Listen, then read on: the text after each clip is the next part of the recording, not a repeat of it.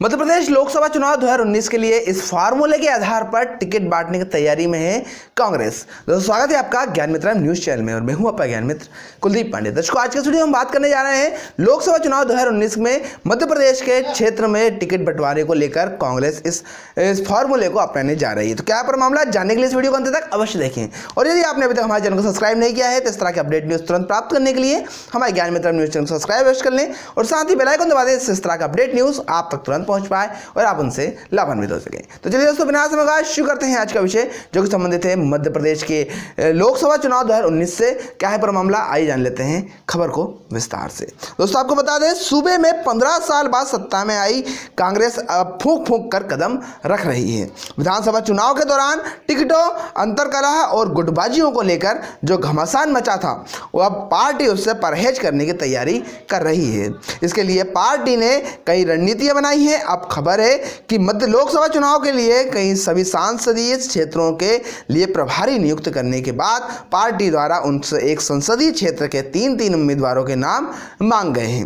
माना जा रहा है कि लोकसभा चुनाव के प्रत्याशियों को फैसला उसी आधार पर किया जाएगा जिस प्रकार से लोक विधानसभा चुनाव में किया गया था। खास बात यह है कि यह टास्क अखिल भारतीय कांग्रेस कमेटी के महासचिव व पार्टी के प्रदेश प्रभारी दीपक बावरिया ने दिया है। बावरिया ने सभी उनतीस प्रभारियों को तेईस जनवरी तक हर हाल में क्षेत्र में पहुँचने के निर्देश दिए हैं।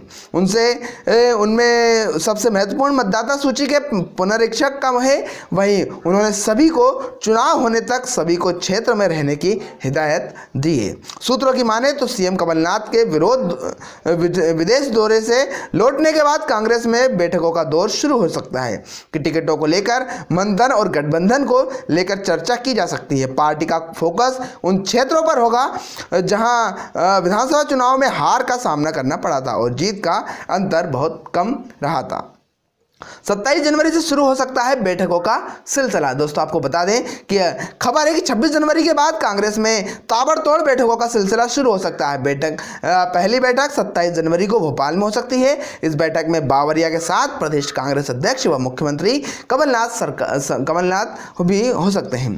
दूसरी बैठक फरवरी को आयोजित किए जाने की संभावना है। तब तक क्षेत्र की सभी समस्याओं की जानकारी रखने के साथ साथ सूची मुद्दों, मतदाता सूची से लेकर तमाम जानकारी जुटाने को कहा गया है। एक जनवरी 2019 की स्थिति में नए उम्मीदवारों के नाम जुड़ने वाले और पुराने गलत नाम हटाने को कहा गया था। संगठन में जिला ब्लॉक, मंडल और सेंटर की स्थिति की पूरी जानकारी और सभी को सक्रिय करने को कहा गया है।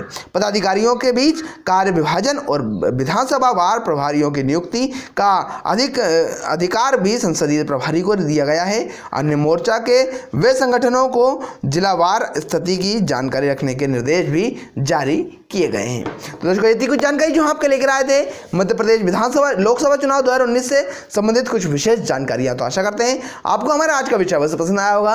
यदि पसंद आया तो लाइक करें और अधिक से अधिक लोगों तक शेयर करें, ताकि सभी जानकारी से लाभान्वित हो सकें।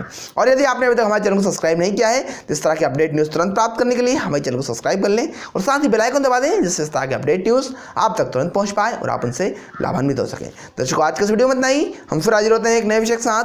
जब तक के लिए जय हिंद, जय भारत, वंदे मातरम।